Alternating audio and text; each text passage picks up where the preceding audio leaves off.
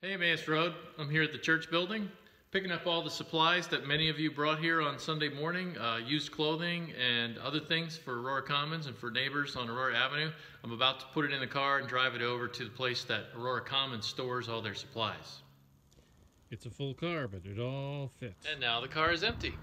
So we went down to the uh, United Methodist Church on Greenwood Avenue and unloaded the car. Uh, Jade met me there, and I met Christina Smith, who is the person that coordinates all the supplies and stuff for Aurora Commons, and she explained that until phase three, Aurora Commons is not open other than people being able to come to the door and they're uh, making hot meals, they're handing out food, they're handing out um, items, and they will be taking the clothing and hanging it up and, and having a clothing rack there as well. So, so everything that you put together, Emmaus Road, is going to be distributed to our neighbors in need on the streets on Aurora. And so, thank you. Um, let's do this again.